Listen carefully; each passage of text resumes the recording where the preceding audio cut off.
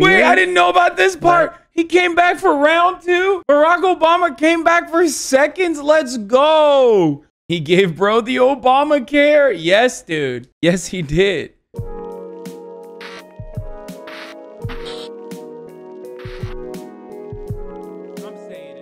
Barack Obama, you're done. If you want to run for camp, if you want to run for president again, guess what?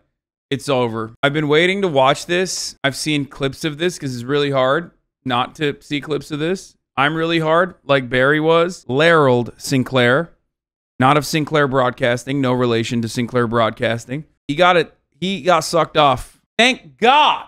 There is a brave man by the name of Tucker Carlson who certainly isn't desperate, like insanely desperate for clout, covering the real stories that are incredibly important. And that is Bardock No Bummer is a gay man.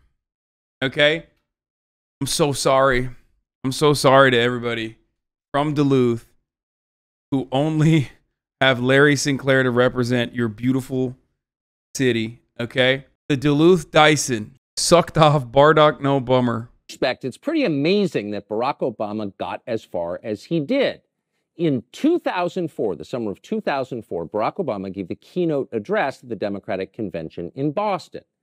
And when he walked to the podium, probably only a small percentage of people in the room knew how to pronounce his name. Yeah, he walked up there like a gay man would. I'm Tucker Carlson, and today we're going to talk about Barack Obama's homosexual tendencies. He was totally unheard of. No one knew Barack Obama. At the time, he was a state senator in Illinois.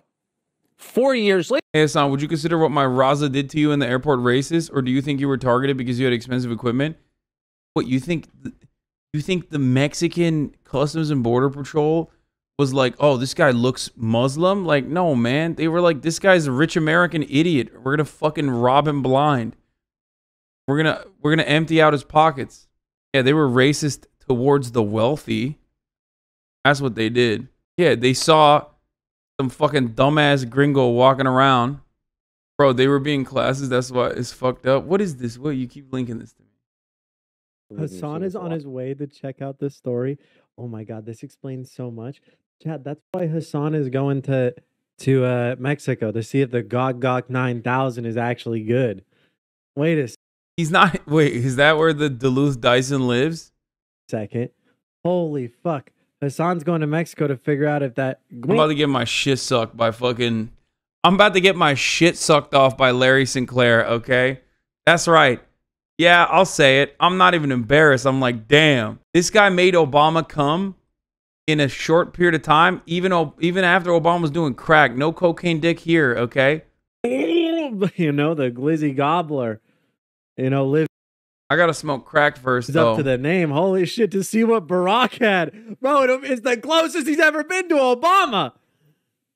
That's true. I was trying to. I'm trying to get my shit sucked. Later, he once again spoke to the Democratic convention, but this time as the nominee.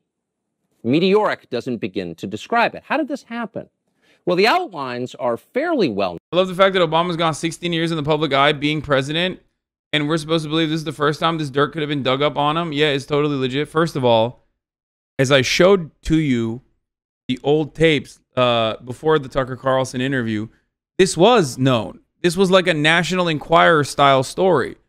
It was just so insanely unbelievable that zero people believed it. It's just funny because like American politics has devolved, especially on the Republican side. Like we've gotten so much dumber than we used to be that Tucker Carlson can repackage like 2007, 2008 conspiracy theories and like more people will believe it. And the funny thing is there is evidence. There's evidence that that this is fake, obviously. Aside from how insane the statements were, okay? Aside from how insane the statements were, this guy already did a lie detector test and he failed the lie detector test, which he then doubled down on his fucking conspiracies and claimed, okay, that the lie detector test was failed by like uh, someone on the Obama camp. Like they paid they paid the lie detector guys to fail him. That's what he said.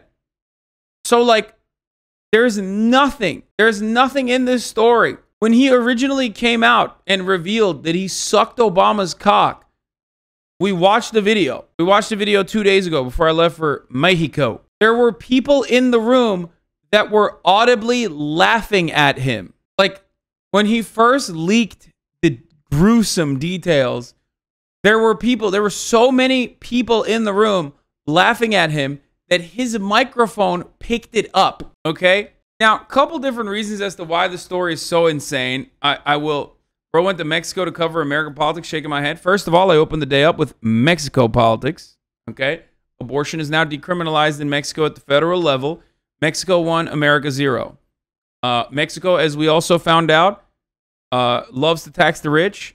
Uh, they tax my ass real hard. So Mexico two, America zero. Just kidding. That was another funny thing that people were like, "Oh, classic Hasan uh, hates taxes because he's rich." All of a sudden, the rich hate taxes, huh? And I'm like, bro, I live in California, like very proudly. You know how much I pay in taxes? Like, what do you what do you mean? A lot more than you do, bitch. when have I ever said I'm anti-taxes? Anyway, let's continue.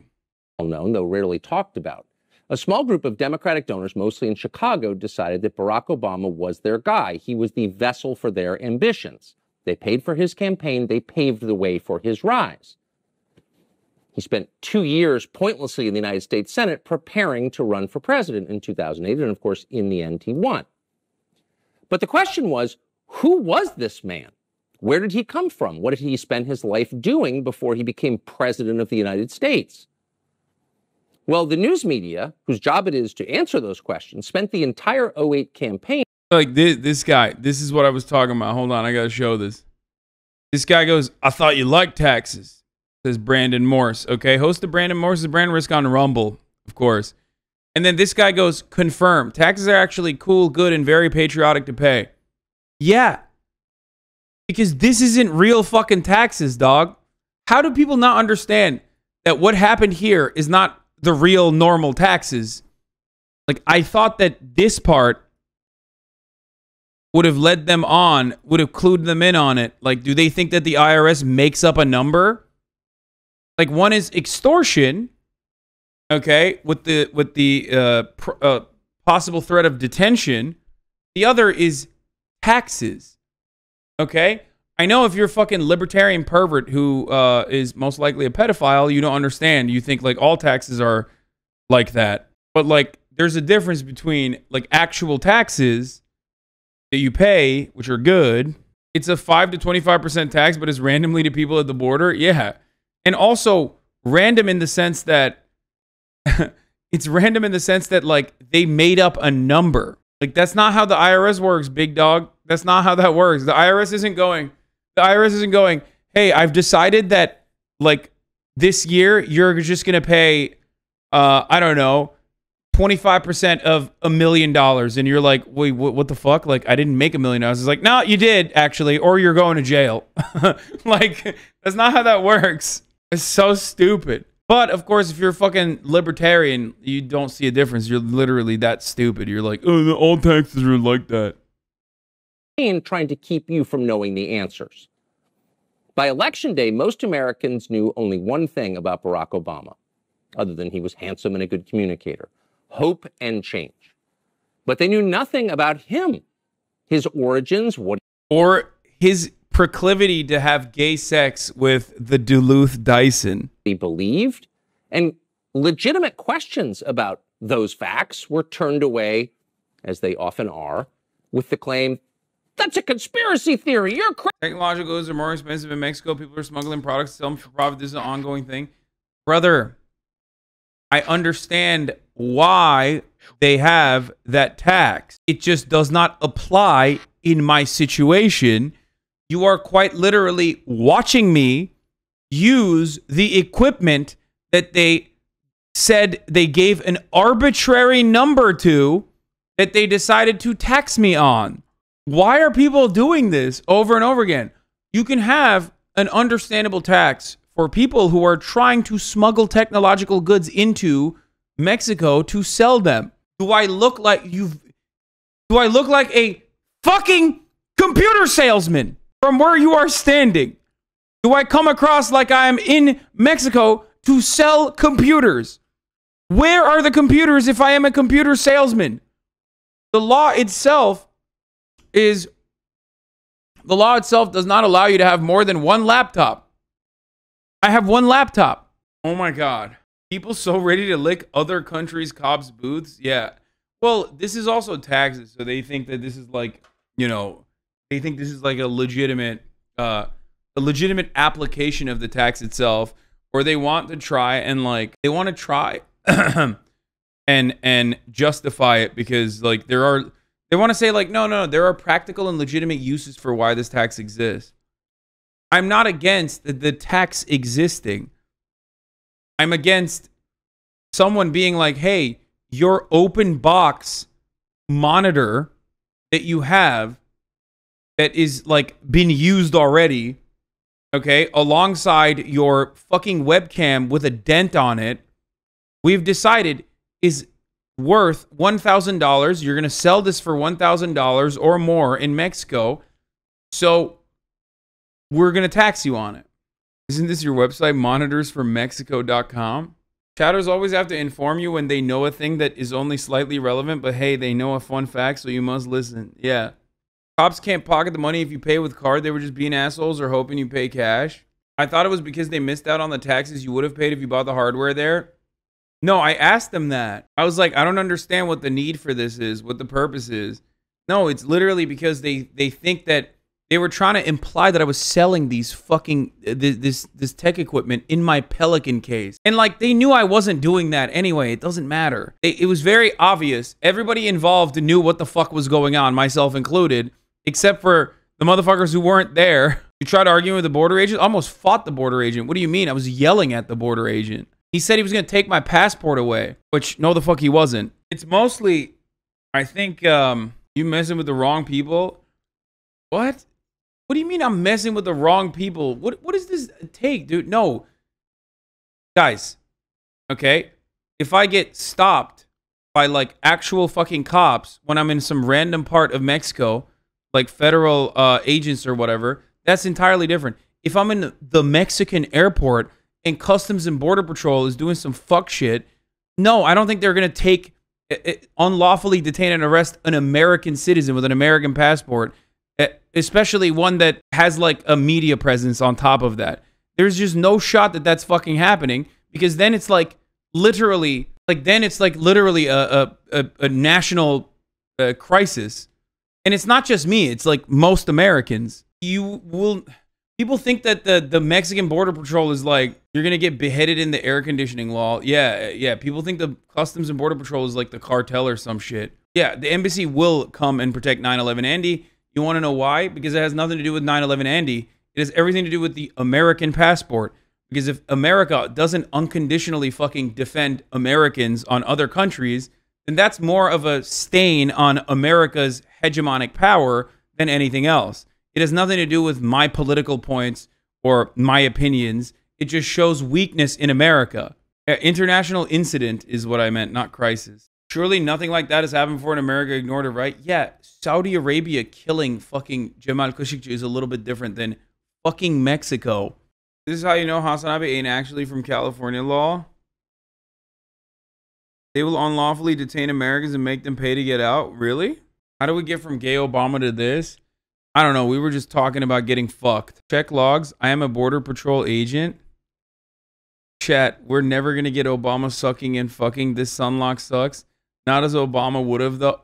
All right, we're going to get back to Obama sucking and fucking instead of the Mexican government fucking and sucking me, okay? We're going to get back to it. This is like, this is literally what I've been waiting for, what I wanted to watch with you guys, okay?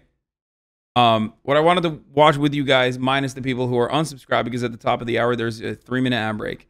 And if you no longer want to see those ads, if you want to be a part of the people that actually watch it, then you know you're gonna have to subscribe for five dollars or free. Little did they know, little did the Mexican border guards know that I am not a fucking laptop salesman. I'm a top of the hour ad break trafficker. Okay, And by God, it's time for it. It's fucking time for it, dude. Yeah, tax me on that, bitch. Here's the three minute ad break now. Crazy, shut up! One of the most interesting moments in the 2008 campaign occurred when a man, like Obama himself, came from out of nowhere to recount his experiences with Barack Obama, the man. His name was Larry Sinclair, and he told an amazing story. He said that in 1999, So funny because Tucker does not believe this at all, but he has to fake believe it for the sake of this video and for the sake of his job and what his media career has become. he had encountered Barack Obama in Illinois, had sex with Barack Obama, and then used cocaine with him. Sinclair went on to make these claims publicly at the National Press Club in Washington, to sign a sworn affidavit, and to take a lie detector test. But he was dismissed. In fact, he was. Wait, yeah, yeah, to take a lie detector test, which he failed. Why did he not mention that? You can't just fucking say somebody took a lie detector test.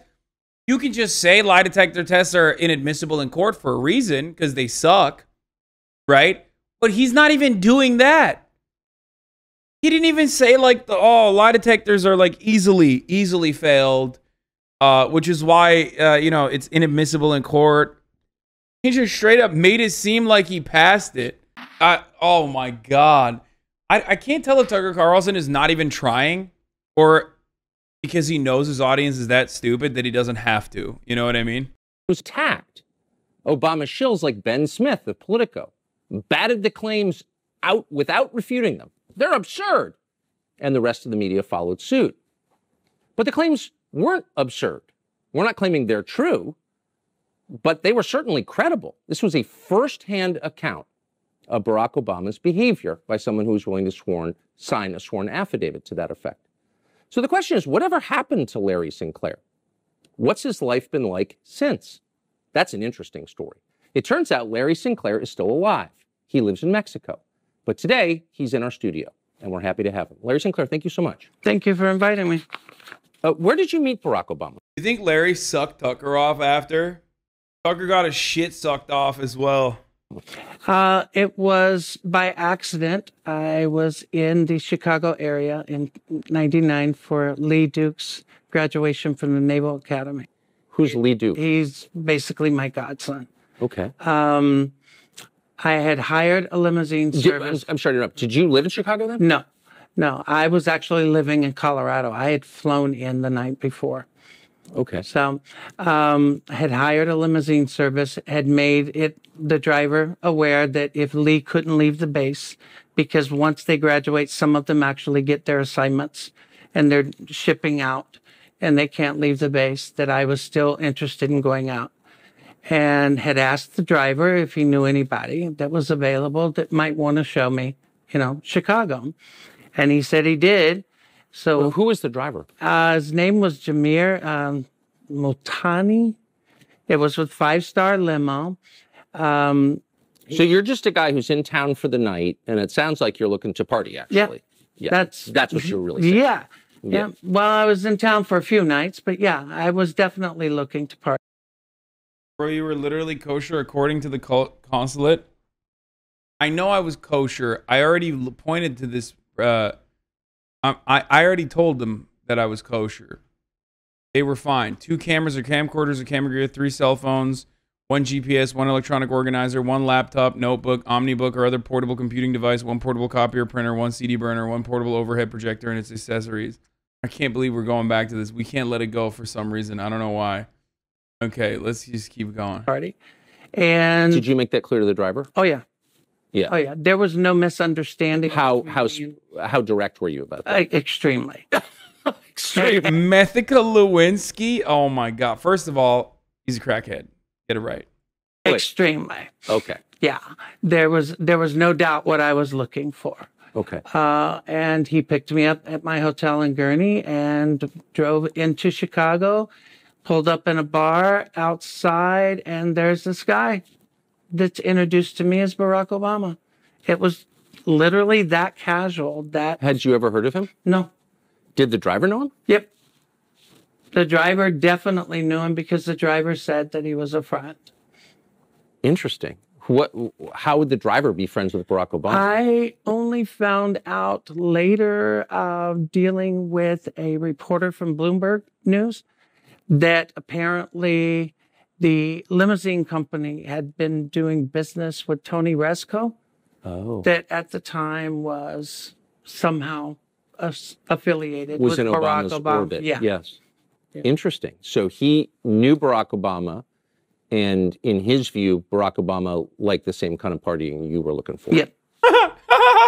So sex and drugs, in other words. The sex part- Dude, come on. This is so good.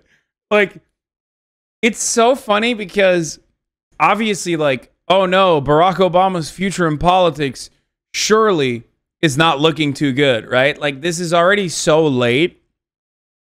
It's so 2000 and late, especially because it was tried in 2008 and it didn't work back then. But, like, the fact that Tucker Carlson, a man that used to like actually bully politicians on national television who the Republican Party's like top top politicos were genuinely terrified of is now reduced himself to interviewing crackheads who claim that they sucked Obama's cock in 1999 when Barack Obama is is long gone. Like he's not the president anymore. He's never going to run for president. It's done. It's over. And he's doing this on X videos. Now, let me explain something to you. This is yet another Hasanabi lock moment, okay? I told you motherfuckers that as soon as he was off the platform, as soon as he was off Fox News, that this dude is done. Okay? He is going to keep debasing himself further and further. And it doesn't matter. He's falling and he's trying to grab onto whatever fucking rope or ladder he can grab onto on the way down. And each individual video that he comes out with is only furthering his demise. Okay? Because ultimately, and I told you guys this, he's now going up against the Ben Shapiro's and the Steven Crowders of the world. And those guys have entire YouTube media franchises and they know what to do. They know how to operate in this space. And even then, they never had Tucker Carlson's traditional media power. Okay? Musk's Twitter on this. Oh damn! Even even Elon Musk is shitting on him. Oh no, that's crazy. That's another thing that's really funny. I saw a tweet from Bret Weinstein a couple days ago. I saw a tweet from Bret Weinstein. For those of you who don't know, Bret Weinstein is like one of these intellectual dark web guys who was a college professor, and uh, he got he like got canceled by the woke mob of like 18 year olds who were yelling at him for saying some out of, out of pocket shit at some dumbass liberal college that liberal arts university that he was a professor at and and now he's just like an anti-vaccine skeptic who still tries to suckle on joe rogan's teat for uh, developing a media career, which he has no charisma to maintain. And um, you can see it. Like he, you can look at his Patreon numbers. Like they go up every time he goes on Joe Rogan, and they go down immediately after whatever. So he he was like an OG classic canceled to Bret Weinstein is the Ben Shapiro clone, brother. You got it all wrong. No, I got it all right. Bret Weinstein used to be the fucking they're brothers, both of them used to be mostly fucking uh they were they were like kind of liberal but like not really, you know what I mean? Uh they were always like the reactionary libtards. Bret and Eric Weinstein. Anyway, just listen. You're thinking of Brett Cooper. Bret and Eric Weinstein were like the IDW uh, weirdos, okay?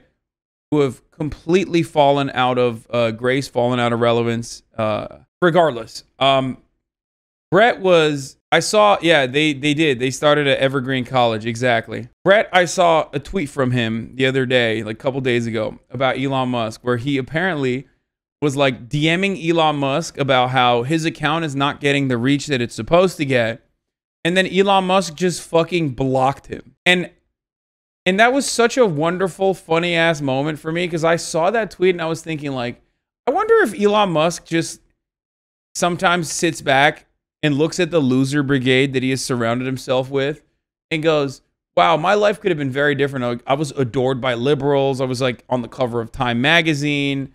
And like so many of the liberal intelligentsia genuinely loved me. And now like a lot of them despise me. And all I have left is like Cat Turd and and Bret Weinstein. Like I'm their own personal assistant. I'm their own personal social media uh, assistant. Like they just constantly are fucking yelling at me over and over again because I'm not getting enough. Uh, because I'm not giving them enough relevancy. I guess. Elon blocked Cat Turd as well. Yeah. That's what I mean. His family hates him. Everybody fucking hates him. He's just like a. He's just surrounded by sycophants and yes men and dumbasses like fucking Jason Sacks and and Cat Turd and and even those guys are leaving uh, him behind because you can never make them happy enough, right?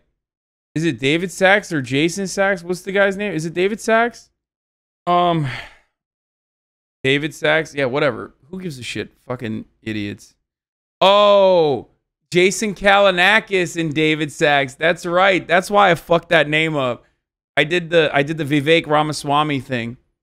Yeah, Jason Calacanis is the other fucking idiot. Oh god, they suck so bad. Anyway, but now look at him. He's like even shitting on Tucker Carlson for covering the truth about homosexual misconduct that Barack Obama engaged in. Part I wasn't so sure about until, of course, you know, you, you make your move, but it became obvious very quick.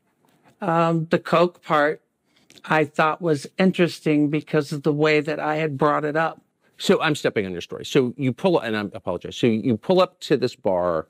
The driver is basically scouting some dude for you to hang out with. Correct. There's this guy, Barack Obama. Have you ever heard of Barack Obama? Never. Never. Um, we're having drinks. I mentioned the fact that I could use something to wake up. I was extremely exhausted. So you went into the bar. yes, sir. what kind of bar was it? I'm trying to remember. I've been trying to remember the name. I know that the glasses had three X's on them Uh-huh. uh, because I remember taking one home uh, for a friend of mine. What, but I mean, generally characterize it. Was it, It a was it working was class up, bar, no, it gay was bar, upscale. strip bar? It was upscale, quiet. wasn't really that uh, that really didn't have a lot of energy to it. It was Yeah. more relaxed, more like a lounge as opposed to somewhere where people would go and get loud and crazy, yeah. um, which made it easier to talk. Um, but like I said, when I brought up the fact that I could use something to wake up, um, he immediately knew what I was referring to. Uh, had made it clear that I was looking for coke, and I really was, and had made the suggestion that he knew where we could get it, and we left to go get it.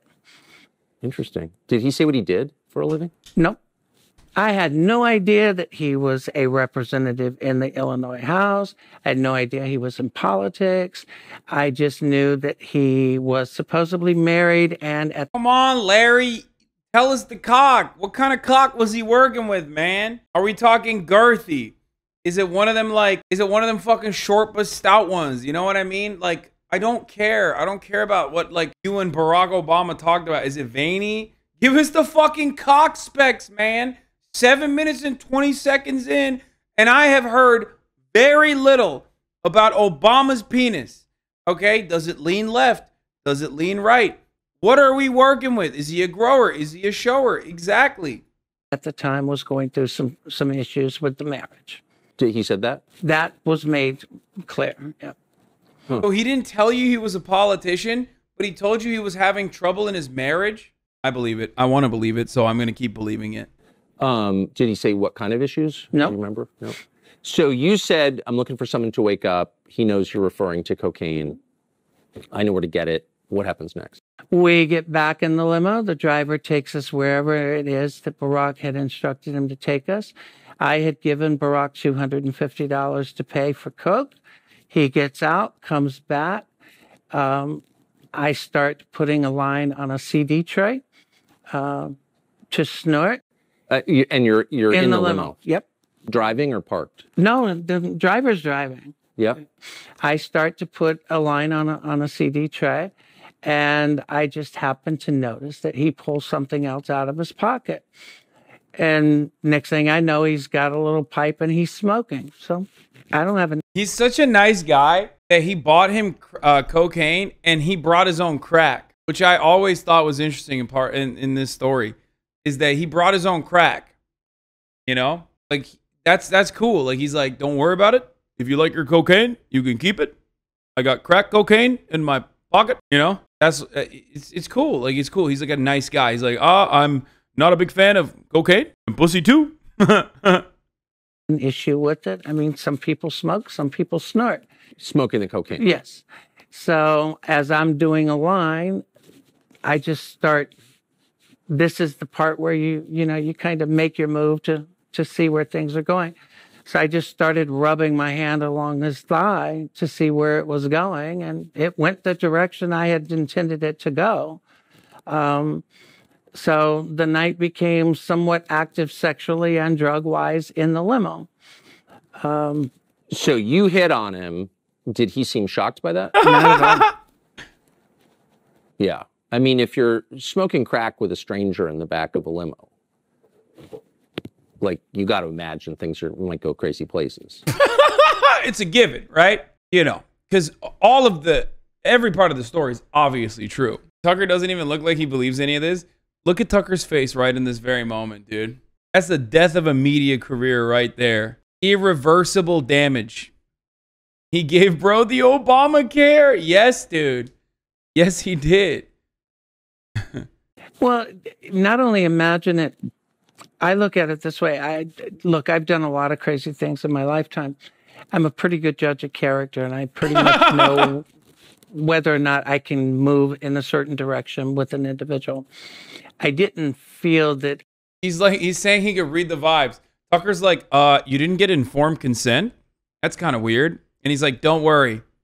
The consent was implied. I'm good at reading, picking up vibes. I was going in the wrong direction. I just wasn't so sure how much I could trust the individual Right. a- at first.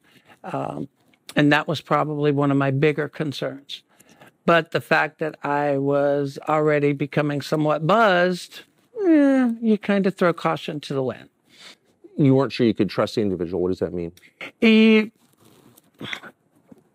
when you meet someone out of the blue and you go to a level that you're doing drugs with or you're Brother, at this point, let me explain something to you guys about Larry Sinclair that Tucker Carlson surprisingly did not mention, which Larry Sinclair did back in 2008 when he first came out and did this press conference. The press conference that Larry Sinclair uh, did in 2008, where he talked about having gay sex with Barack Obama and doing crack, was approximately 20 minutes long. The first 10 minutes of said press conference was his entire rap sheet that he voluntarily delivered for no reason whatsoever. I don't know why. But like at this point, when he's like, oh, I don't know if I could have trusted this man, okay? What he's saying, the man, the man who's saying this is, has been in prison like eight times for uh, possession, intent to distribute like crack cocaine. Uh, he was a con man. He went by like three different names. He had active warrants in states. Like, like the notion that this guy was like, oh yeah, Barack Obama, on the other hand, didn't seem like a trustworthy individual is pretty funny.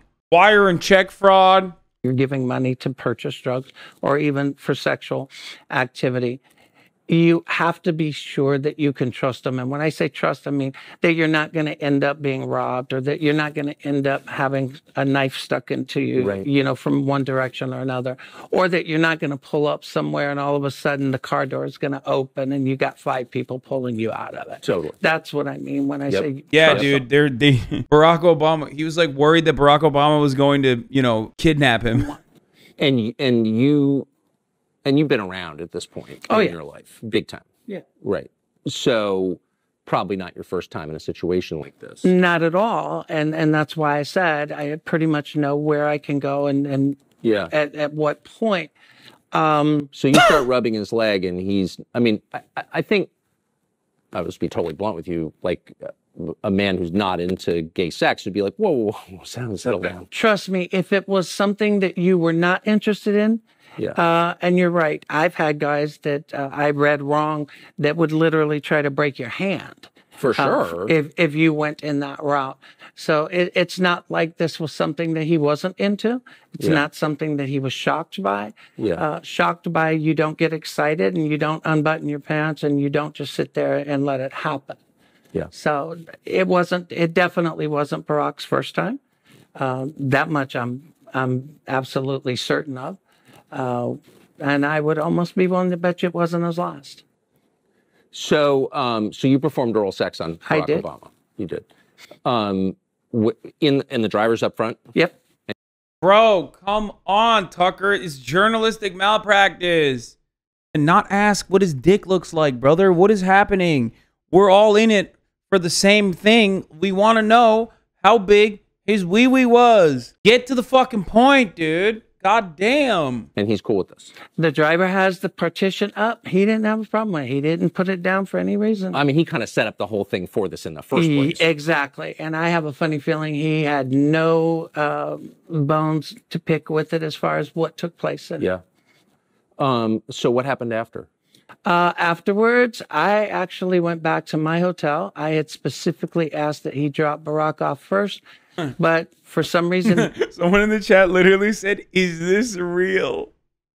or AI? oh, no, it's real, man. It's very real. Is it truthful? No. but, oh, it's so good. he and Barack chose that they would drop me off at the hotel first, and then he would take Barack.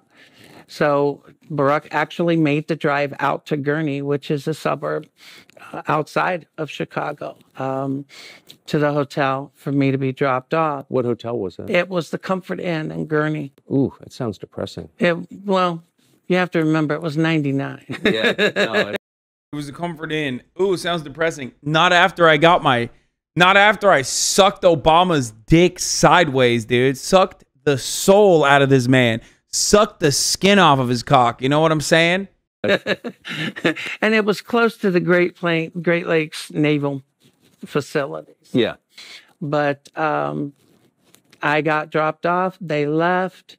Uh, the next day was somewhat interesting because he ends up showing up at my hotel room, which I thought was What? Came, Somewhat wait, weird. I didn't know about this part. He came back for round two. Barack Obama came back for seconds. Let's go.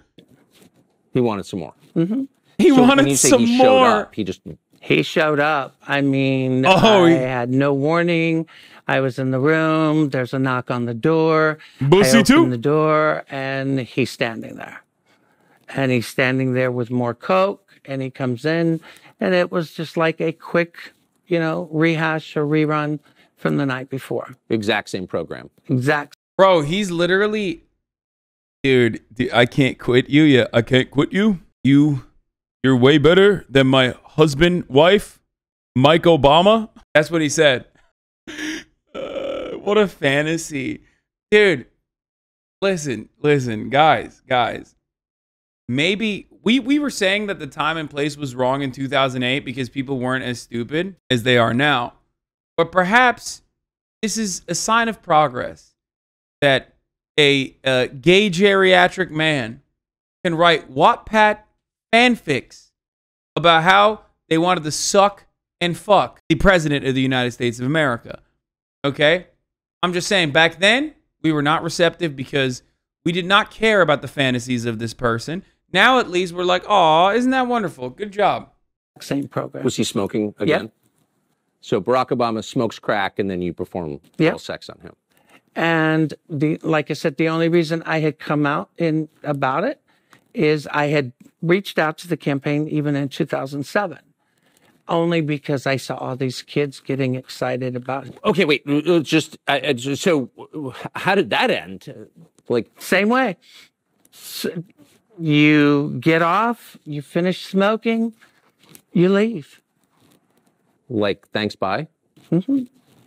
Huh. Pac Man knew Why President Obama is a gay man? Search sues, sues woman libel lawsuit. Lysol libel lawsuit. Much more. Okay. To be fair, it's 2012, so he was probably he probably wasn't even covering this one. He was probably covering like the classic Mike Obama shit. You hear India's changing his name? Yeah, I heard, and I heard Pakistan is trying to take the India the name India. What did you think of him? I thought it was interesting. Uh, I thought he was definitely a con. But What do you mean by that? well, in my life at that point, you had you you made it clear I had already been around Yeah, big time. Yeah. So you know when people are doing things because they actually really enjoy it or they're sincere or they're looking, you know, for Yeah. a connection or they're doing something because they're looking for an in or they're looking for a hook or it's a game. Yeah. Uh, so for me, I felt that it was a game for him. It, it was like, okay, what am I going to get out of it? Or is there something I can get out of it other than just, you know, the sexual part? Right. And lucky for me, I wasn't going back to Chicago anytime soon. So it really didn't matter. So you were left with a bad taste in your mouth. It's something. Yeah. Yeah. Um, did you talk to him again? I did not. In fact, I. And did you have any idea, even though you had sex with him twice, you did cocaine with him, watched him smoke crack twice, you had no idea who he was? I had no idea who he was until I'm sitting in my house in Tequila, Nayarit, Mexico in 2004. And he walked on that stage in Boston. in the DNC convention and I literally hit the floor. I just hit the floor and was, Wait, so you're watching the Democratic convention from Mexico, I was and the guy that smoked crack in your comfort inn with you, I was laughing so hard. and you were sure it was him. I was absolutely positive. How? You, I don't forget people I've met. I don't forget people I have spent time with. I just don't. And uh, just to just to restate, because I think you affirmed this, but um, he used his real name when you. Yes, Did he call himself Barack or Barry? Barack. Barack. And so did the driver. And that's why at first, when everybody was referring to him as Barry, I just didn't understand or, or, or catch on. Because, like I said, I didn't know that much about him other than the fact that, hey, He didn't know that much about him except, you know, apparently he sucked his cock twice. Wait, did Austin have to go to Mexico to find this guy? Yes. But not just find him, but really to find love, actually. Not just to find him, but to find love. If this man could suck off Barack Obama after Barack Obama had done crack cocaine in the back of a limousine and suck him to completion with his gummy shit, I thought maybe I'd give it a fucking spin myself. That's right. That's why I'm in Mexico. That's journalism, baby. you know, y- you you hook up. You know, today it's Grindr. Back then it was, you know, The limo driver. yeah, a limo driver or a bartender. You know, you ask and somebody knows somebody or somebody doesn't. Biting is this biting your nails is a sign of parasites.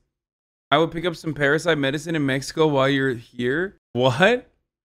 Brother, I've had a parasite in me since I was like fucking five years old then, because I've been picking at these shits for three decades, okay?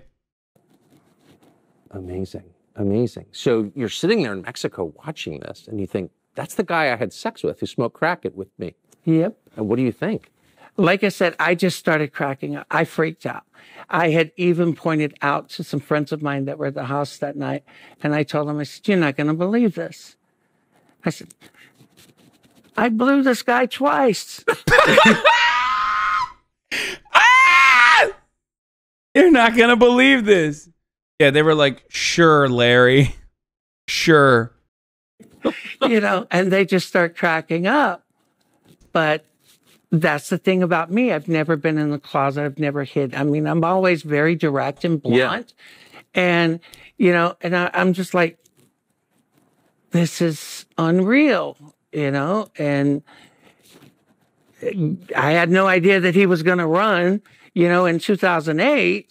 But I was back from Mexico, but it, it was a strange feeling sitting there watching him walk across that stage and realizing who he was.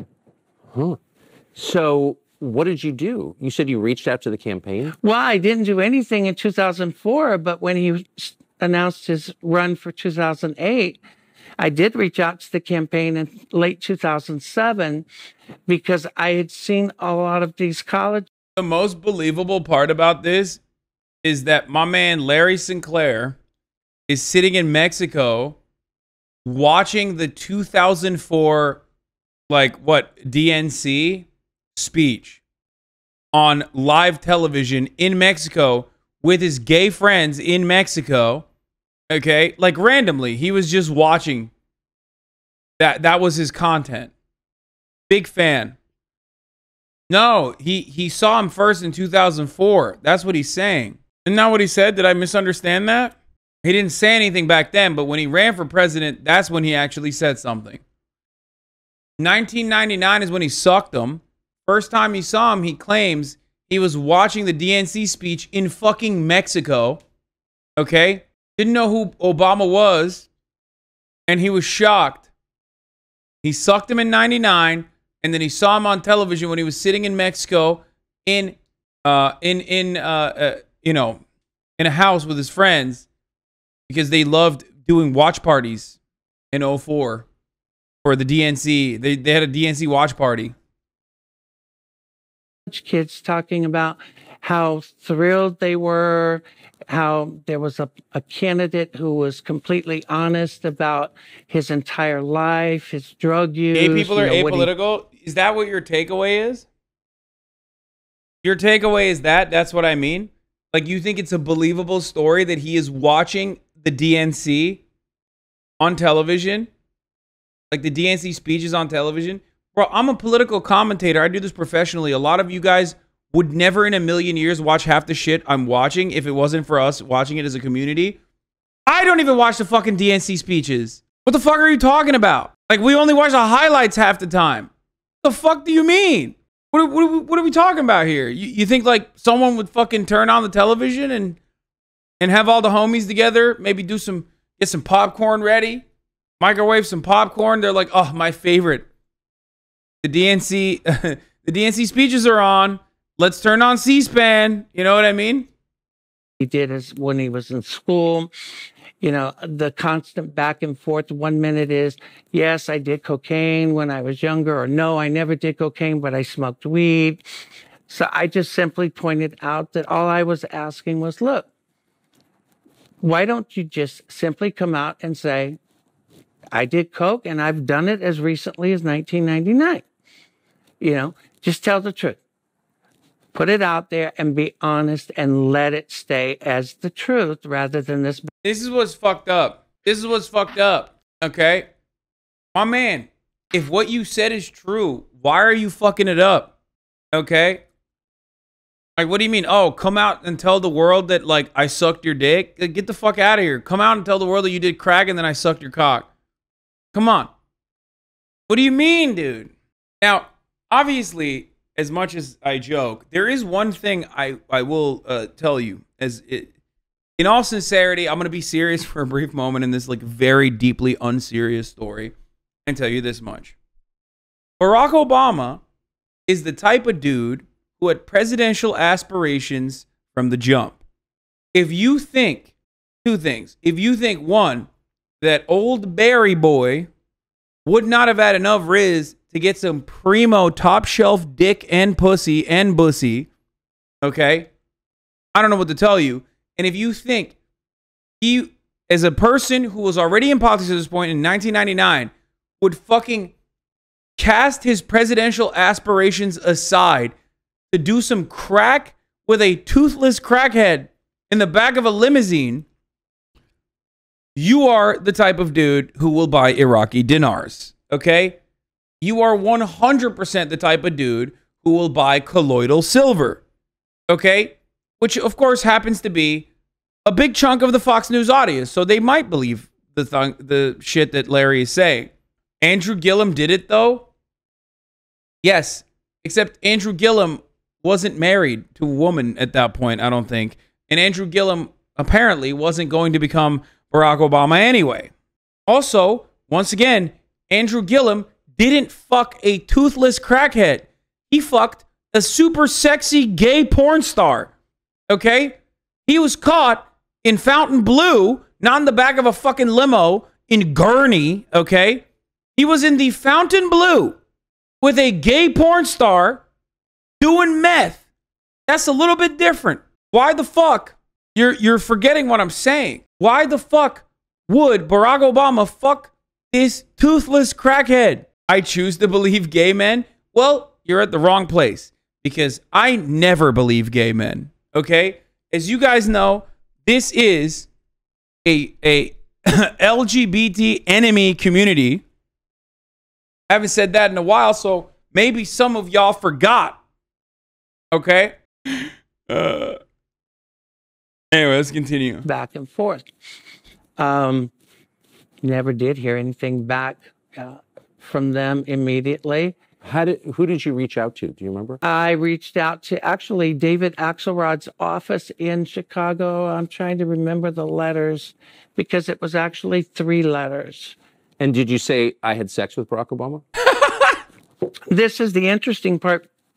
My first contact with the campaign never mentioned the sex whatsoever. Um, that was actually brought to my attention by someone. This is such a funny story because like like there is not even an ounce of credibility in any aspect of this. And it's also quite ironic that the Tucker Carlsons of the world, who normally would be like, uh, making up false accusations about having sex with someone is completely ridiculous. What is this? Toothless suction? Extract throat goat Larry Sinclair in Mexico? Okay, dude. The fuck are you doing? Why did you do this? Why did you work so hard on this? And more importantly, why did you fucking why did you put Kya in here? Okay? Keep Kya out of these shenanigans, please. um, while he was high, pretty much the same. Pretty controlled. Pretty controlled, euphoric, um, talkative, but not really saying anything. So it was like his presidency. Yeah, A lot like it. Um, was it your impression, and of course you would, strictly speaking, no, but was it your impression that this was the first time he'd ever smoked crack? No. No. Uh, you don't, first of all, you don't buy crack, get in a limo, and have a pipe in your pocket if it's the first time you smoke crack. Yeah. You just hmm. don't. That makes sense. If you believe any of this, I feel so bad for your decaying brain. I don't. I think those guys are having much more fun than we are. Like, think about it. There's not a single thought in that mind, okay? There is not a single thought in that mind. Everything is fun, unique, and entertaining, okay? You're you believe the most insane shit. Life is so different for you. It's like the difference between the way we analyze color and the way like dogs analyze color. You know what I mean? Like they have they're operating on a different playing field entirely. These people. Okay? They're thinking at the top of the hour there is no 3-minute ad break. When you know there is a 3-minute ad break at the top of the hour. Now, of course, that's what the same person knows. Same person also takes some precautions against the top of the hour ad break. The same person says, "Oh, I don't want to see the top of the hour ad break. I'm going to subscribe for five dollars or for free with the Twitch Prime. That is by connecting my Amazon Prime account to your uh, to my Twitch account. I'm to do that. I'm calling the Mexican border agents on you. Go ahead, do it. They'll come over and they'll suck me dry. Okay, they'll suck my shit like Larry Sinclair did to Barack Obama. Moth six six six. Thank you for the five gifted subs. That man can't process mental stimulation. I mean, I don't know about that man, but the people that believe this guy 100% live very fun lives because they're they're just completely insane. Like they're just completely and utterly insane. Anyway, here's the three minute ad break now. So, um, I, I Mep read K, about thank story you for the been 10 written about, gifted. Not very much. Um, but I'd never read that Donald Young, this man Donald Young, called you and told you that he knew you'd had sex with Barack Obama. That was the contact in late 2007 Anomalous Danielle, that thank you for the 10 had that originally came under the guise that they were the they were part of the Obama campaign. So, who was Donald Young? Donald Young was a choir director and a school teacher. He was the choir director at Jeremiah Wright's church in Chicago, the same church that Barack Obama went to. Uh, he was also a very openly gay black Yes. man, uh, but very well respected. Did you know him? I had never met him. I had not even realized that the person who was communicating with me had been killed uh, until a good two months after. So uh, I'm, I'm going to get to that. So Donald Young is the choir director at Jeremiah Wright's church. Yes. And is it publicly confirmed that he knew Barack Obama? Oh, yes. Yes. Donald Young's own mother has repeatedly said that she feels that her son died to protect Barack Obama. It's just interesting that Donald Young would have called you. He's not working directly for the campaign that we know of, Exactly. but somehow he has a copy of your letter. It sounds like maybe Donald Young was on cleanup duty. Somehow he has my phone number. Exactly. And that's exactly What what what is going on? What? Why would why would someone from Barack Obama's church, okay, which he immediately cut ties with because he's a pussy and a coward, and the only reason why he was involved with Jeremiah Wright's church to begin with was so that he could uh, have a leg up in Chicago politics. Why would that guy be the guy on cleanup duty? Why wouldn't he just hire like an actual fucking PI? What it was because like i said the first calls were it was i was led to believe that he was with the campaign. The last conversation that i'd had with donald young he had actually come clean and said that he had been asked to call me and that his job was to get as much information from me as far as If this dude was even remotely credible, Hillary Clinton would have pounced on this and ran gay Muslim Arab attack ads in 2008 from sun up to sundown. Like you know, 2008 Hillary Clinton wished the story was true. Yeah, that's another reason why this is definitely fucking fake. Because if it was real, Hillary Clinton would have been like Barack Obama was sucking dick and doing crack cocaine. Okay, her campaign is the reason why the Barack Obamas of Muslim narratives were first aired to begin with. Like the whole Barack Obama wearing a turban. Like that was that was her campaign that leaked that shit. who I had spoken to, who I had given any information to, uh, and to get that to them. Uh, he had told me to be careful, to watch myself, and to understand that the Barack Obama campaign was not in any way, shape, or form going to acknowledge anything or come out about anything. And he had made it clear that he had known Barack for quite some time and had had an intimate relationship with Barack for quite some time. He told you that. Yep. And that's when Did you come into contact with some kind of animal or pet when you were five? That's probably where you got your nail biting parasites from. What is this guy saying, dude? That's right. Might be time to get it out. I love this guy. I love my insane weirdos in the chat, dude. I just, I do. It's like a fun little way to to break away from the content for a brief moment. just just fun fun little guys in the chat. He's like, "No, actually you definitely have some parasites in you since uh since you were 5." and I knew that I could at least trust what I was being told. Um, originally, I had made it clear I didn't feel comfortable with the phone call because something just didn't seem right. But after a couple of calls, it started to all fall into place. And I had said the same thing to myself. Wait, so you didn't know Donald Young existed? Nope, It sounds like you're not very political anyway. You weren't. at the- I wasn't at the time. And you were just annoyed that Obama was talking about cocaine and lying about it. I was extremely annoyed. But the sex part had nothing to do with it. No, Then Donald Young, who you don't know, never heard of, calls up and says, By the way, I know you had sex with Barack Obama. I did too. yep, pretty much. Um, I mean, this is a longer conversation, which we're going to have in a minute, but I mean, Obama has a wife and kids, and he's telling America what a great family man he is. Is that, maybe you've seen this a lot? I, what, what do you think of that? Well, People who are not political love watching DNC speeches. Just like like they always have DNC speeches on TV. Like in, even in Mexico, they have a satellite TV so that just so they can watch it. But I don't know why I'm just so hyper focused on this insane one like super stupid detail. It's just because every part of this is so dumb. Like yeah, Obama was letting the whole town hit. Okay, He was letting the whole town hit. He was fucking and sucking. Everyone in Chicago knew it. He had a hungry mouth, okay? He was being a little slut. You know, in 2008, I made it clear that Obama was having marital problems in 99, and everybody uh, in the world said that I was crazy, didn't know what I was talking about.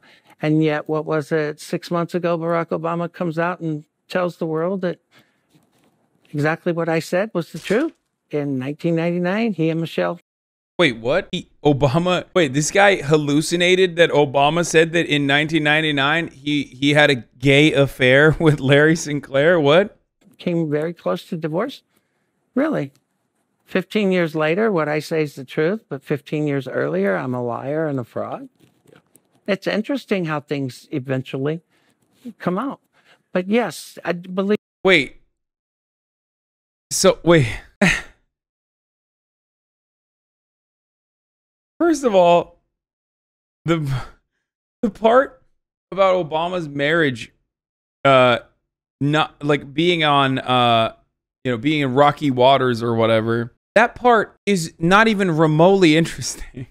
And also, I don't think Larry Sinclair mentioned that back in 2008. He added that recently after he probably came out and said it. Classically, you have to have gay sex when your wife is mad at you. No, his wife is mad because um he wasn't having sex with her or uh, uh, Michael, him, whatever. That's another classic trope that like for those of you who don't know because you're zoomers, uh Republicans ran with whole uh ran with the whole like Michelle Obama is actually uh Michelle Obama is a man and that uh her name is actually Michael. Which now that I think about it is like the first transvestigation, I guess. So they were kind of cutting edge on that front. And they still kind of do that. They still say it all the time. And it's it's actually just that back then it was more racist. Like the the classic like, oh, she's a black woman, she's actually a man uh type shit. But um you know, I mean, they're still doing it. believe me, I've seen, I've known guys that were completely happily married that will screw around uh, with another man on a weekly basis and think nothing of it. Huh.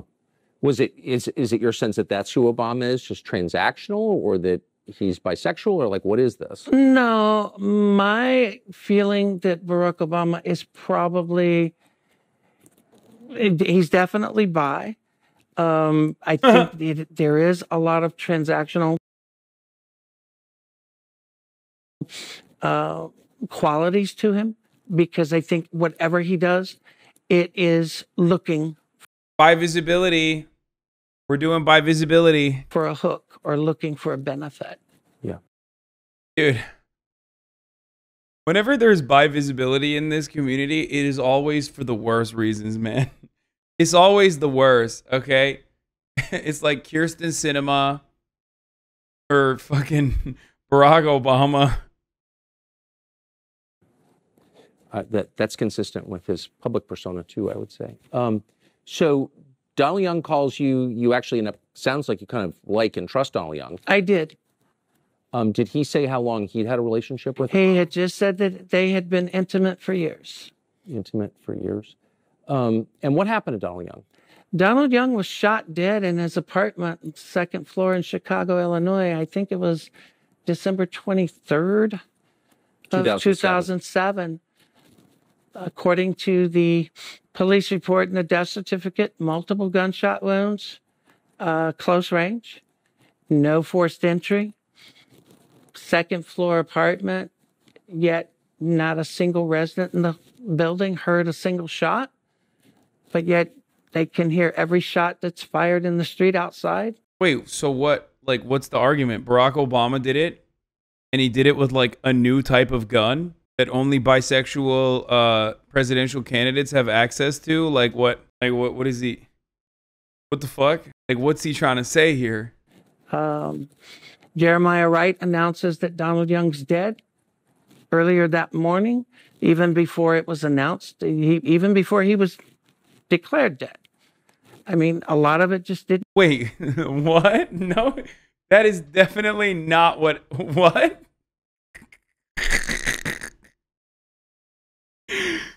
Dude, I love conspiracies because they always go so hard. they always go so fucking hard. Like, you could have just kept it at the other shit, which he probably is lying about as well. But no, you gotta go the distance every time. Every fucking time. It's like, and actually, uh, and then, uh, you know, everybody in the building also had what they now know as Havana syndrome. Yeah, that's right. Uh, before, we didn't know back then what was going on, but everyone had diarrhea for a week. Didn't make sense. Um, this is all public, and you can Yep. look this up, and um, it's still on the internet. Uh, tell us about Donald Young's mother. Norma Jean Young actually is a former Chicago Police Department employee. Really? Really, she had worked for the Chicago PD. Um, I had spoken with his sister Lorraine shortly after I realized that he was the gentleman that I had been speaking with. Uh, there were people at the time that were attempting to have Lorraine uh, and other members of Donald's family file criminal complaints against me with Chicago because they wanted me arrested. They were trying to get the family to say that I was trying to con them or something. Uh, to my knowledge, they never uh, did any such thing. Uh, but at the same time, I, I continue to respect Lorraine and the rest of the family. Um, but Mrs. Young had finally come out and told David Nelson, who was a reporter that I knew out of Minnesota, um, that she was convinced that Donald had been killed, that his death was to protect his friend Obama. And she confirmed that they had, in fact, been extremely close for years. Um, I mean, did she confirm that they'd had sex, Obama and Donald Young? Her confirmation wasn't referencing, or she did not specifically say that they were sexually involved. She just simply said that they had been intimate friends for, for years. But she believed the Obama campaign was She- responsible. She believed that his death was due to protecting Barack Obama. And I made the same. Stop. The Dyson of Duluth? Really? You're stuck with that for fucking 60 days, chatter. Why did you do that? Thank you for the five gifted subs, the Dyson of Duluth. Scum did you so dirty? Wait, why? What did he do? what? Oh fuck! I first met Mr. Show in '99. That's fucked up, dude. My head is much small. Uh, fuck, my head is much larger than that. Fuck! Fuck you guys, man. Oh god, here, just keep. argument that Fuck you. people said, Well, how are you accusing Barack? I said, I'm not accusing Barack of anything. But I said, I'm willing to bet my life that Barack Obama and Jeremiah Wright both know or have knowledge of who killed Donald Young. There is no doubt in my mind about that. Well, this was a guy who was clearly going to be the next leader of, of the world. You know, people kill each other over insurance claims, over bar fights. You know, there's a lot at stake here. I, Mhm. I have no knowledge of this. I'm not alleging uh, a murder by the Obama campaign or its allies, but it, it's not. It's not a crazy thing to wonder, obviously. No, and the only thing I, after I realized what had happened with Donald Young, the only thing I'd ever asked was the same thing that I had done. And I said, you know, if you want to accuse me of being crazy, you know, release your phone records. You know, turn over your phone records from your phone in 99, turn over your phone records for the last year. I mean, it's that easy. If you've got nothing to hide, it's not like they're going to be made public. Turn them over to authorities, let them investigate, let them look.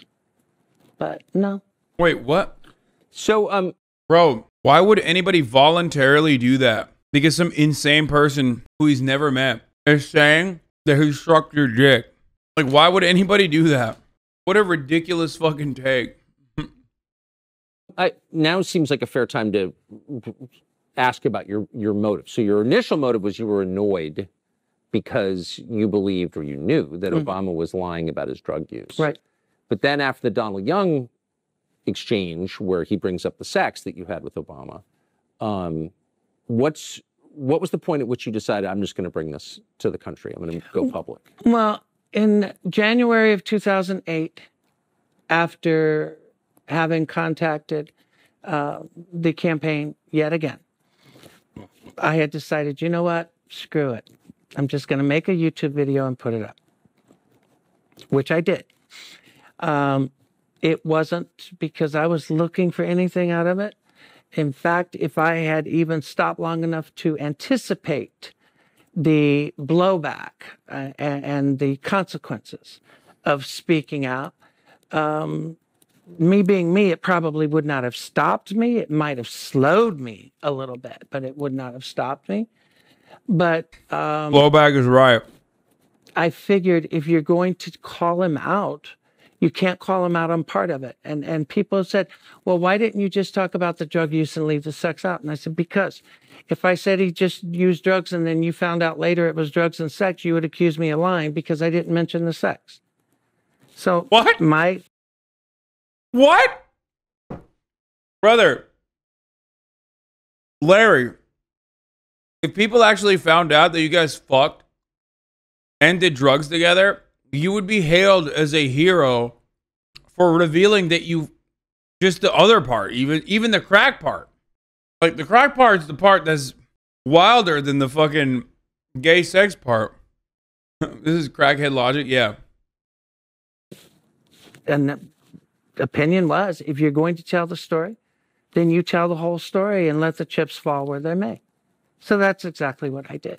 And so you made a YouTube video. By the way, I look I looked for it last night. I couldn't find it. That's because YouTube gave access to my account to someone shortly after uh, the polygraph test.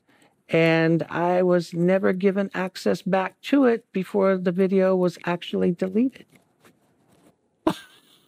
Are you serious? Oh, yeah. YouTube gave access to the account and the video was deleted. Microsoft gave access to my Hotmail account and all of my emails were circulating the internet and vacation replies were set up on my email telling people that I was busy uh, giving blowjobs and would get back with them when I was done. And oh, yeah. Man, they wanted Obama to be president. Yep. And they wanted me to be the biggest fraud and nutcase. Brother, you went to jail for fraud before you came out and lied about sucking Obama's dick. You literally went to jail for like check fraud, right? What are you saying? Like, ah, everyone, they really tarnished my reputation as a crackhead con man fraudster. That ever existed. So I got to ask you, I mean, you know, I, I wasn't there. I can only assess what mm-hmm. you're saying. I don't see any obvious motive for you for gain, financial gain. You're not going to get rich doing this. And, and, in fact, you haven't. You've gotten impoverished uh, as a result of it. But like if I'm a reporter, well, I was a reporter at the time. I remember thinking, well, that's an interesting story. But it seemed like nobody in the media wanted to follow up with you. And some people, like Ben Smith at Politico, who's a liar and a shill posing as a journalist, I, I, reread the piece last night that he wrote saying, oh, it's ridiculous. Right off the, the first graph, it's ridiculous, these claims. Dog. Of course it's ridiculous. Yeah, because it is, man. Like, I don't get it. I got to look at the fucking comments, dude. I'm actually worried for Tucker. Who knows what these people might do? This man's nonverbal cues are on point. He isn't lying. I was full of doubts about this guy's claims. By the end of the interview, the guy came across pretty credible. Didn't Tucker genuinely believe this? No, of course he doesn't believe it, dude. What are you kidding me? Well, I think I have an answer for why a lot of reporters did not want to follow up. And I think it would have something to do with what David Axelrod told a old Chicago Sun Times uh, reporter, or no, Chicago Tribune reporter, uh, John Crewdson. Uh, Axelrod had been a reporter in Chicago before okay. he went into politics. Well, John Crewdson worked for the Chicago Tribune. And John Crewdson actually came to Duluth, Minnesota and sat down with me and, and talked with me. Do you think the guy actually deluded himself into thinking this actually happened? No, because he failed the lie detector test. Not that like lie detector tests are fucking great. You know, he did a lie detector test and he failed it. So if he had actually deluded himself, he he might as well have been able to like, you know, pass the lie detector test. And John Crewdson had, had told me point blank that before he had flown out, that he had spoken to Axelrod and that Axelrod had told him that they were aware of who I was and that it was their intentions to destroy me and that if any reporter had mentioned me to them, they would be completely cut off and that outlet would be completely Lie detector tests are actual provable bullshit, but he still failed it anyway. He failed an already bullshit test. That's what I'm saying. cut off from access to the Obama campaign for the duration of the year. So I think that had a lot to do with why reporters didn't bring things up to the campaign because everybody wanted access to, you know, the new savior. How narcissistic must you be to think that everyone's out to get you? I don't think it's narcissism that has caused this man to think that they're gang stalking him.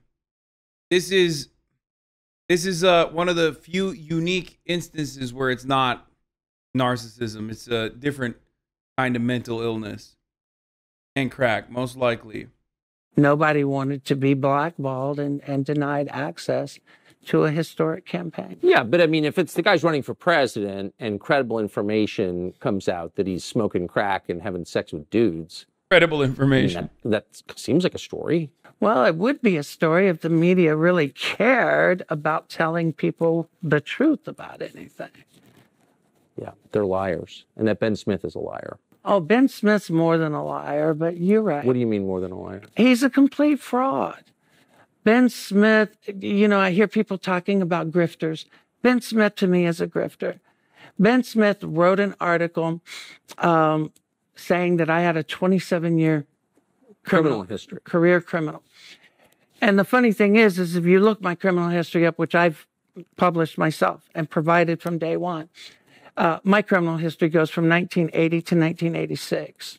And everything I've ever done, I've owned it. I've never wasted taxpayer money.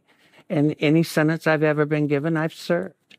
Um, but he also Bro, wait, what? My name is Larry Sinclair.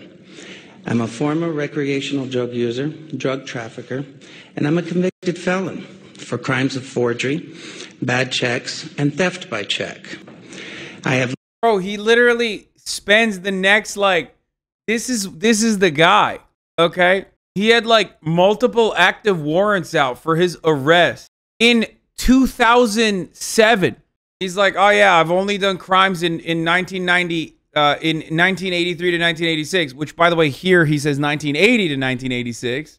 No, I don't think he's stopped doing crimes since the 1980s. He's just like a scammer. Lived and worked under three different legal names. My Yeah, that's the other part. He's like changed his names multiple times. Uh, demon rats are trying to distract the people with this, ignoring the fact that the average working class American has warrants out for their arrest and multiple felonies in their name, in multiple names that they've changed legally.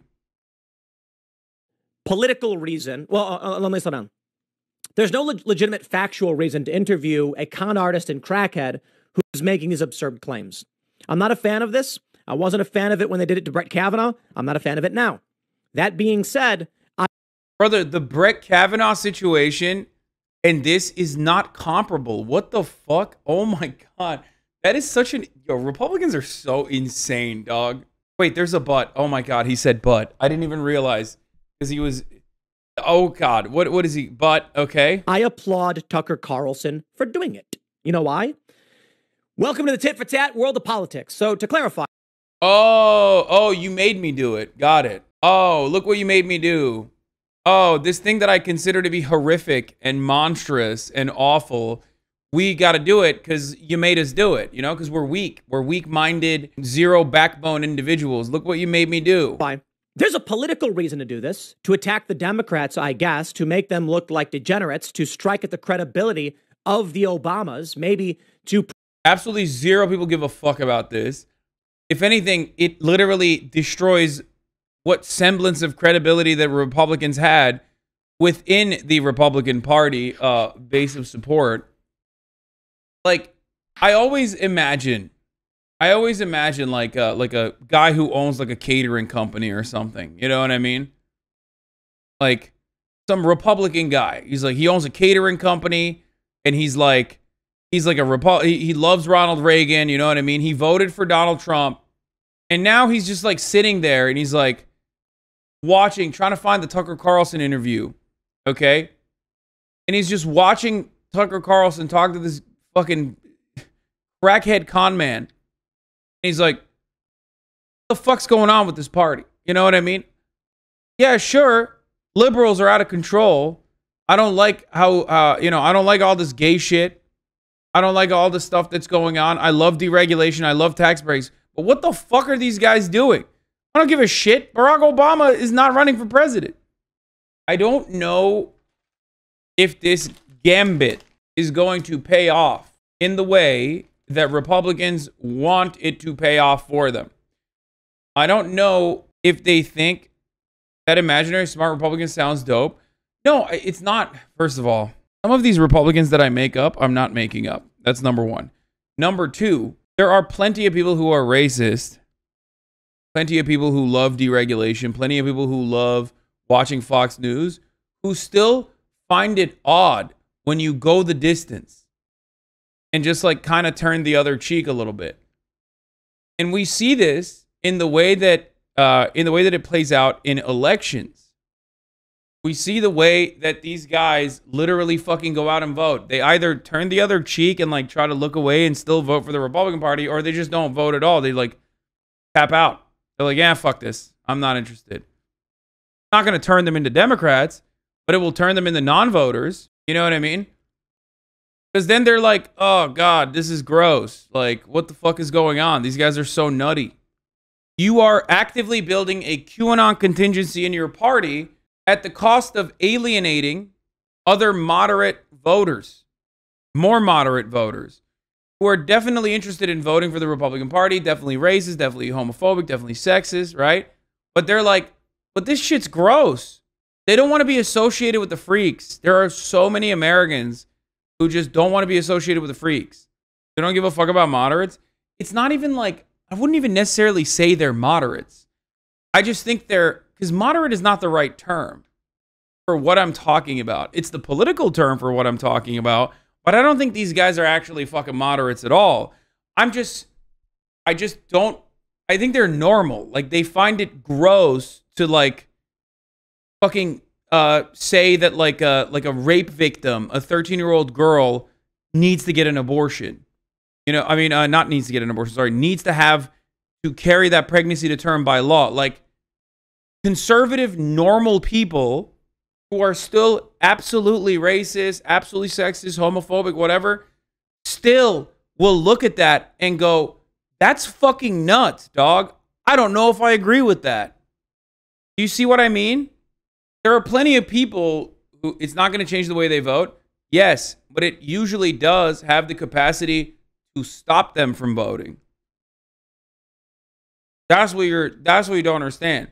So while you're pushing while you're pushing for an active base uh, looking for a new constituency that you're building in the form of like QAnon, just like you did with the evangelical Protestants, you're you end up alienating a lot of suburban voters who are like, I don't know, I feel like it's a little too far for me.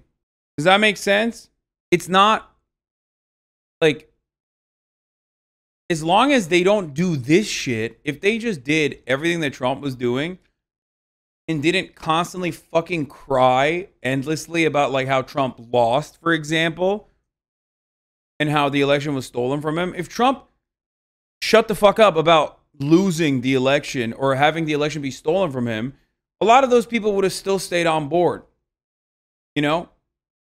But the the single issues that will carry them to the polls is never going to be they're mutilating teenagers and, and cutting their genitals. Okay? Because at that point you're lost in your own sauce. Just like there is no appetite in the Democratic Party's base of support for permanent first world genocide. Okay? Like, can you imagine someone just like running around unwashed because they think showers are an unjustifiable hierarchy, simultaneously telling every fucking like small business owner that they need to be killed. Okay? Because this is the Republican equivalent of that. It's the Republican equivalent of that. The Democratic Party, I don't expect them to ever hug and kiss those people anyway, because they're not like a viable constituency of voters anyway. They're fucking, they never vote. Right? But the reality is, it's no different than like if the Democratic Party turned around. If the Democratic Party turned around and, and and basically cut propaganda and videos and like endlessly talked to that base of support as though and messaged uh tailored their messaging around that base of support. Because that's what the trans shit looks like for a lot of people. It comes across as gross and weird and crazy. What is this? You're talking about my stepdad and mom. They live in the middle of nowhere and every time i talk to them they don't understand the dumb shit on fox news rather than her sister my aunt who rambles about qanon shit every time they talk I end up having to try and explain it and they don't get it. They do indeed end up thinking it's stupid and not worth going into the city to vote. They're not moderate, they just haven't lost the plot. Yeah, these guys, it's not a good moderate is not a good term for it because like if you sat them down and you asked them straight up like what their perspective is on issues, right? Well, you ask them straight up what their perspective on issues is, is like, oh wow, like these are very fucking reactionary people. It's just they're not so fucking reactionary that they legitimately think that like Joe Brandon swapped out all the fucking votes and and still care about it to this day. And like there was a mass campaign with mail-in ballots that uh, that was actually coordinated, and COVID was fake, and but also simultaneously the deadliest thing on the planet, and it like specifically didn't kill Ashkenazi Jews and the Chinese, and that also uh, you know the Democratic Party are a bunch of vampire uh, pedophiles who are uh, who, who are stealing children all the time, and you know all this shit, all this shit combined. Some of them might pick and choose different parts of the, the conspiracies that I just mentioned. Like, but none of that is going to be big enough. None of that is going to be serious enough for them to go out and vote for the Republican Party out of fears because these, these people kind of find that to be strange, a little strange, a little gross. Prevent Michelle Obama from gaining traction or to create just some negative press around the Obamas, fine, whatever. Simply put, the Democrats, the left, and the media in this country entertained the most psychotic lies you could imagine about Brett Kavanaugh. Tucker Carlson is simply engaging in the exact same behavior. Legitimate political reason. Well, uh, I can't believe they're destroying Barack Obama's chances of becoming a Supreme Court justice, which, by the way, Brett Kavanaugh still is. So didn't even work if that was the case. So said that I was a fugitive, that I was avoiding prosecution, I was trying to prevent from going to jail. None of that was true. But the media ran with it. Even Greta, even Greta linked to it and said that people asked me why I would not interview Larry Sinclair. This is why. And she linked to Ben Smith's article.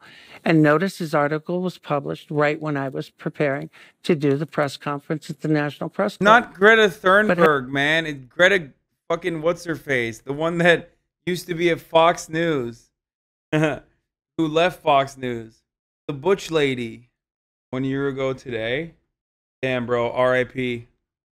Hey, the National Press Club, so called beacon for freedom of, of the press, they were just as involved in trying to keep the story from ever being. It's interesting. I, I watched the other night, I watched your entire National Press Club appearance, and in it, you detail your intersections with law enforcement in, mm-hmm. in ex- exhaustively. Yep. Every time you've been arrested, you explain it. Every time you've done time, you've, exp- Yep. you explained it. So you didn't, from what I could tell, hide your past. No, why? You you can't.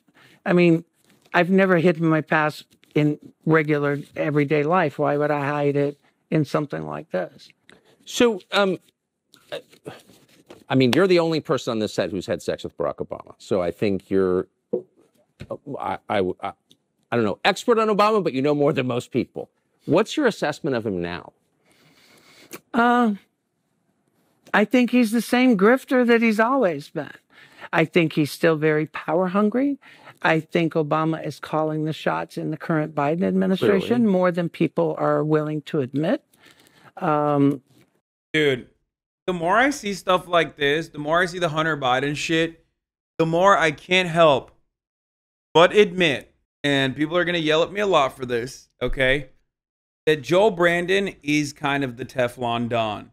Like his goofy geriatric ass literally is so boring, not to a fault, but like literally, it's like weaponized boringness, okay? Like they can't pick at anything. They literally cannot pick at a single fucking thing with Joe Brandon.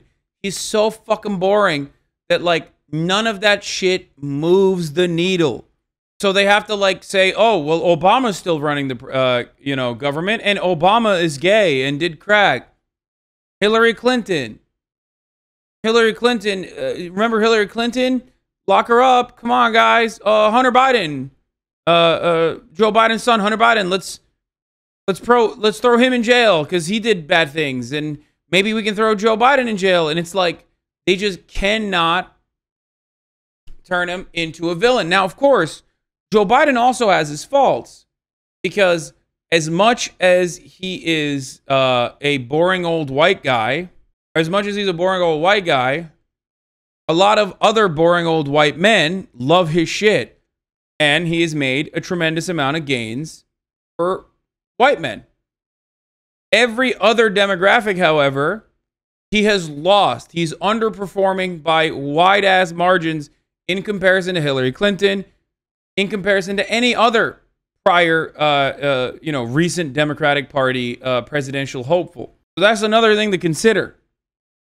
That's actually becoming a big problem for him. I believe will be the biggest problem for him in this election cycle. Joe Brandon is doing great for uh, white people. He's doing great for the older white male category, much better than previous uh, previous uh, Democrats. However, he's doing really fucking poorly in comparison to previous Democrats with uh, every other demographic. I think Obama is hell bent. Uh, I had made a statement during that press conference. I disagree. Brandon's doing poorly overall. Yeah, I do think he's doing poorly overall. No, no, make no mistake. He's doing poorly, but he is doing better than previous Democratic candidates or previous Democratic presidents with white men. Demographically speaking, he's doing much better than they have with white men. He's doing much worse with every other demographic, though. That I felt that Barack Obama being elected was going to push race race relations in this country backwards 50 years. I am absolutely positive I was yes, I well, I think you've been you've been vindicated on that because race relations in this country has not only gotten pushed back, but everything's about race now. Everything, everything is about victimization now.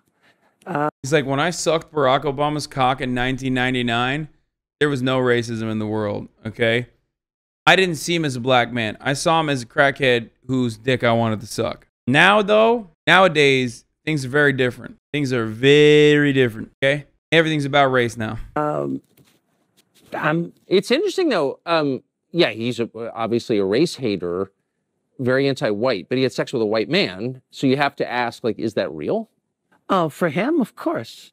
I, and I would be willing to bet you I'm not the only white person he's ever had sex with, or male anyway. Yeah. Um, but hey, he's got what he wanted. You know, he is in DC. He's living the life. He's still looked upon as as being the savior of, of the country.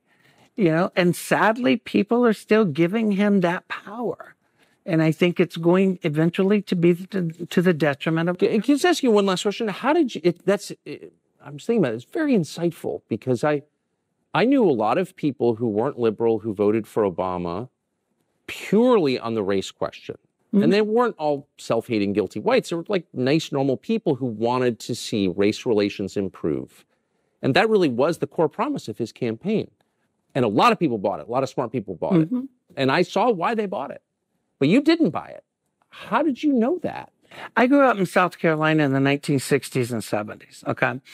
I've been gay and knew I was gay since six years old. Never hid it. Okay. Yeah. Uh, I grew up in rural South Carolina. And my first job as a kid was cropping tobacco for a family by the name of Rose that were a black family living across the road from my grandparents. Um, so I grew up as a kid, a gay kid, in an era and an area that would get you killed being gay just as quick as you could be hanging being black. So I actually knew the other side of the track before I knew that I was supposed to act like I was above this or above that. I've watched it my whole life. I know when someone plays, when it comes to acting like they're one way and then in reality they're the biggest racists or bigots alive on both sides. Okay. I knew because he was saying one thing in the campaign. And then if people started to actually listen to what he was saying, I love thinking that Barack Obama hates white people.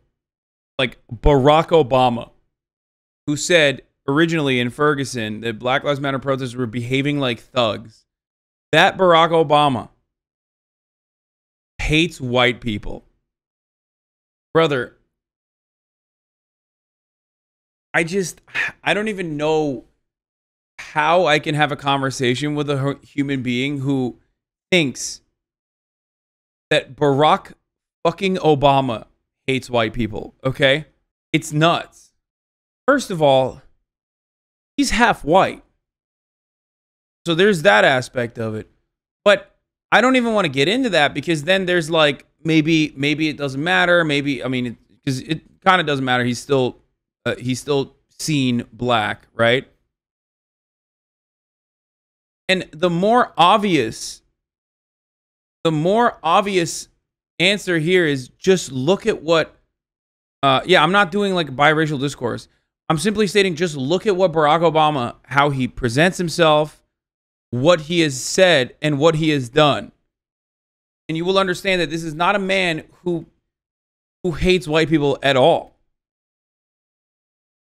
This guy was an online stalker who got the media to believe his long story. I mean, I think people don't even believe it. They just uh, are are going along with it. Remember, there was a time when he actually told supporters to show up at a fight with a knife, get in people's face, argue with them if they didn't agree to support him, if they didn't agree to vote for him, argue with them, convince them. Come on. You don't make statements like that and tell me that you're not going to make things about race. He did. Man, that is that is the one part of your story that we can say unequivocally you're telling the truth about. You saw that and most people didn't. Larry Sinclair, I'm really grateful that you came. I wish I had interviewed you in 2008. I don't think anyone would have run the interview.